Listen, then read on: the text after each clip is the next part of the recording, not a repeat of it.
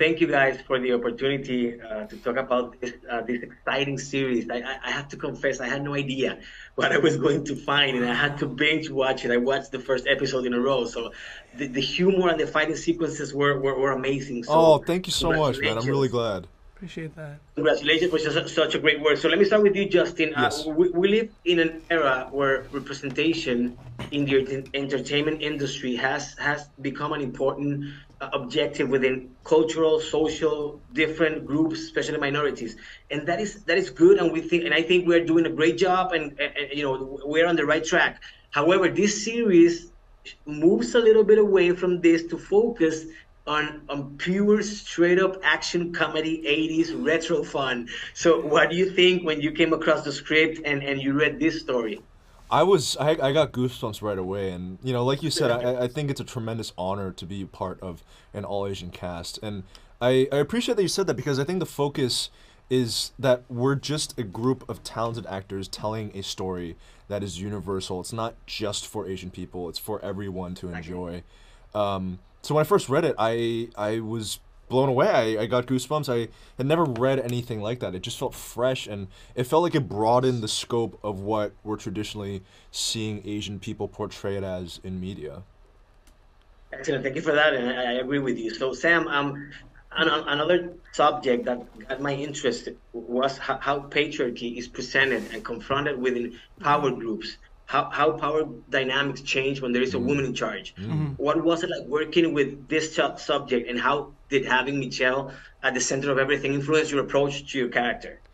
This is an incredible question because this is actually something that I think about every day in my own life. Mm. Because just like uh, Bruce, I actually grew up with a single mom in my family. I, I did not have a father figure in my life.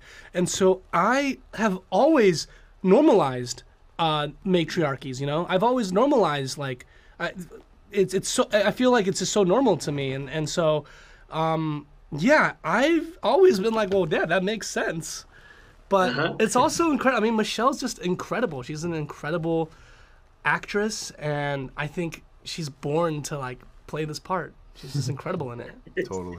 She is. She is. So, uh, Justin, I, I, I was, I'm wondering, uh, food play plays an important role in this series. Mm. Tell me about the dynamic of adding food. Uh, surely many dishes from from from from your culture, from different traditions. It adds flavor, color, uh, it, magic to, to to the story. Some somehow. Um, first, how many churros did you have to eat? Uh, because after watching the series, yeah. I, I went to a restaurant and I asked for nice. churros, so it worked. Nice, nice. I I had probably I don't know fifty churros and the best ones were either the ones that our food stylist Melissa McSorley made or the ones from Costco. The Costco ones are pretty good. Really? Yeah, yeah. But you know, I think the, the I'm glad you asked that because the the food is from early on we decided that the food was going to be a character in the show and i think in a lot of cultures we dine family style so we're serving each other we're serving our elders we're serving our younger siblings and it's just such a communal experience that i think why it's important for our show is because when audiences see that on screen, you can see how well the food was prepared by Melissa. You can smell it through the screen, and I think it reminds them of those visceral memories that they've shared with other people over food. And I think it, it draws you even deeper. It, it provides another layer of sensory experience for our show.